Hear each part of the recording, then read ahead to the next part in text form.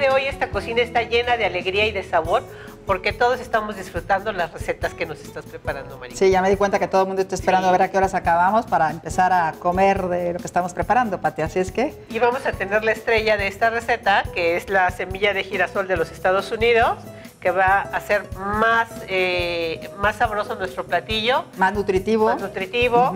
Entonces, este es un panque de plátano, lo vamos a presentar en un moldecito como lingote, entonces está mejor el nombre de lingote de plátano, ¿no te parece? A un panque de plátano, ¿no?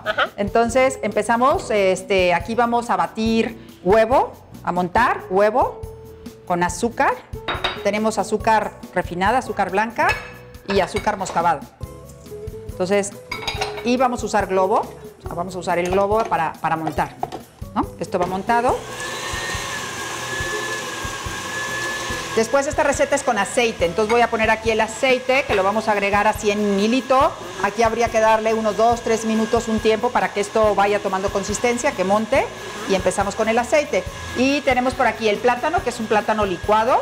Eh, los secos, los ingredientes secos que tenemos harina, esta sí es harina de trigo, eh, tenemos polvo de hornear y tenemos eh, bicarbonato que está puesto aquí, no están juntos, hay que cernirlos. Acá tenemos un poquito de crema, la semilla de girasol, la vamos a combinar también con un poco de nuez y este, eso es lo que le vamos a agregar para tener algo de textura, algo crujiente.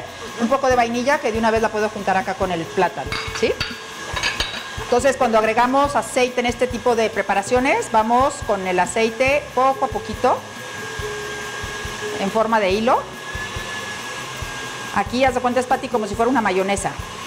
¿no? La mayonesa tenemos de base ahí huevo y aquí también hay huevo, nada más que está dulce. Entonces, para que se haga bien la emulsión, para que lo absorba bien, es que vamos con el aceite poco a poquito en hilo. ¿Okay? Maricu, si nuestros amigos tuvieran alguna duda, ¿dónde pueden hacer contacto contigo?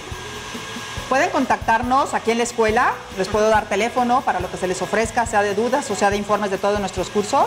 nuestros teléfonos son 5683-2284 o igual con 94 al final.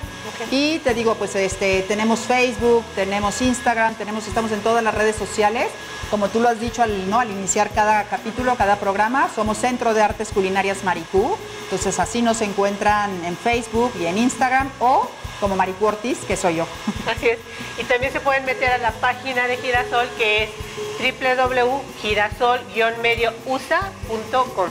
Ahí van a poder descargar incluso todas las recetas que tienen nuestros amigos a base de semillas de girasol y toda la información nutricional que tienen. Voy a, este ya pasaron 4 o 5 minutitos montando, voy a agregar poco a poco harina, alternando con plátano, ¿no? El plátano me decías que únicamente es el plátano molido y ya. Un plátano bien maduro, entre más maduro va a ser de más sabor el panqué.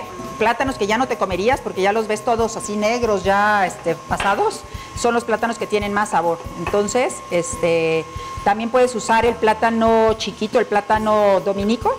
O sea, este es plátano tabasco, ¿no? Pero el plátano dominico también te da un sabor como más agradable o agradable, pues también podrías usarlo. Ahí es cuestión, pues eso, de gusto y de qué tengas, ¿no? Realmente es esto alternar. Voy a poner un poquito de crema. Ya ves que también platicábamos hace rato de si lo fácil o lo difícil de la pastelería. Yo creo que es muy fácil, ¿no? Que has visto que esto sea difícil, esto, este... Estábamos, estábamos comentando fuera de cámara que Maricú hace tan fácil la receta que yo digo, oye, pues es que de verdad uno se debería de dedicar hasta como negocio.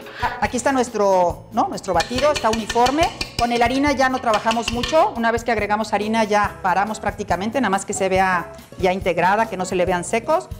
Este, aquí que tengo la textura ¿no? de los frutos secos del girasol de, ¿no? de Estados Unidos, lo envolvemos.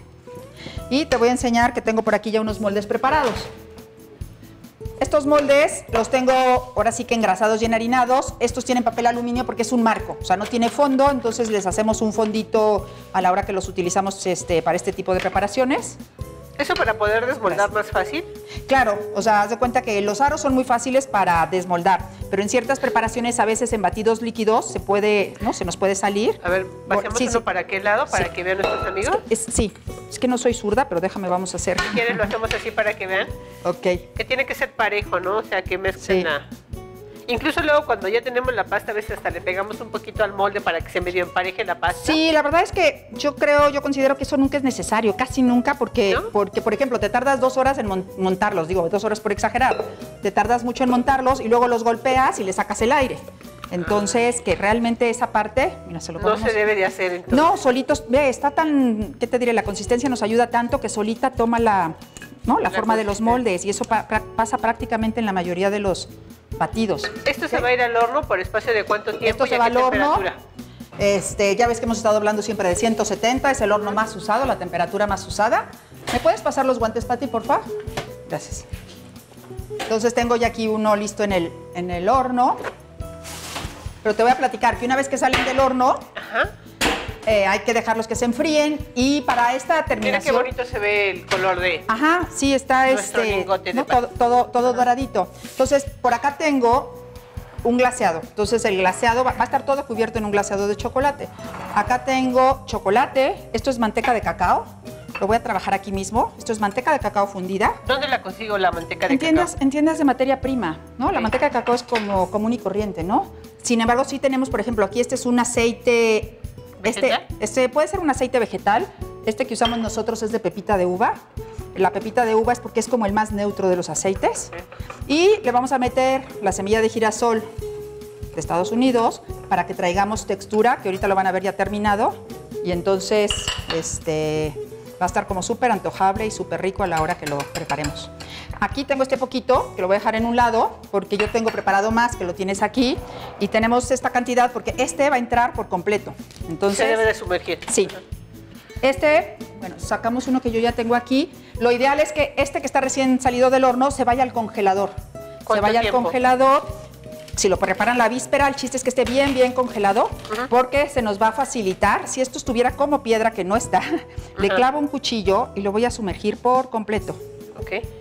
Y entonces, estando congelado, Inmediatamente. le va a ayudar a que bloquee el chocolate, Ajá. el glaseado, ¿sí? Y con este mismo lo puedo sacar. Ahorita voy a, voy a ver Pues cómo. digo, ahorita no queda exactamente. Sí. Tú ya tienes uno adelantado. Sí, ¿no? ok, pero esta es así como que la Y técnica. mira, se ve muy bien, o sea. Sí, lo voy a colocar aquí, Ujú. ¿no? Y tenemos ya uno listo. Entonces, mira, aquí tenemos como los pasos. Ese, este es el salido del horno. Bueno, esto lo Este sería aquí. el cubierto de chocolate, El si que estuviera acabamos de más cubrir. frío. Y, Y- ya tienes el otro que ya está prácticamente Exacto, que terminado. ya, que ya secó.